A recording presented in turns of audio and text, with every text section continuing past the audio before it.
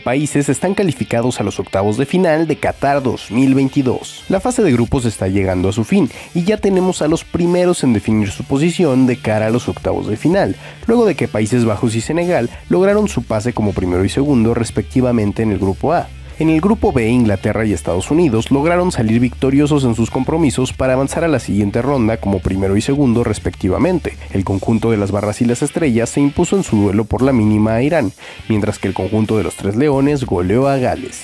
En el grupo C, México quedó eliminado pese a vencer a Arabia Saudita en el último partido, esto por la diferencia de goles con Polonia, que se metió a los octavos a pesar de haber perdido con Argentina, que quedó líder en el sector mientras que en el D Francia perdió con Túnez, pero aseguró liderato de grupo y dejó fuera a los africanos, y es que esto se debe a que Australia logró la victoria sobre Dinamarca, y con ello lograron su pase a los octavos de final.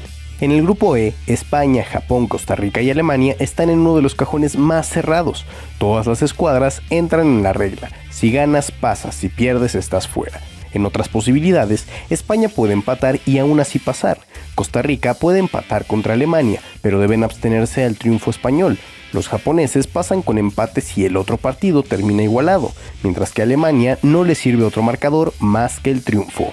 En el grupo F, Croacia, Bélgica y Marruecos tienen chances de avanzar, y Canadá aún puede hacer la diablura. Croacia puede darse el lujo de empatar, pero no los colocaría como primeros. Los belgas deben de ganar, no tienen de otra y Marruecos puede empatar con Canadá y ser segundos en caso de que Croacia no pierda. En el grupo G, Brasil está clasificada con el gol de Casemiro. Los pentacampeones pueden empatar su duelo contra Camerún y aún así ser punta de lanza. Suiza puede empatar y calificar como segundos. Los africanos tienen el panorama más difícil, pues deben ganarle a Brasil y esperar a Suiza.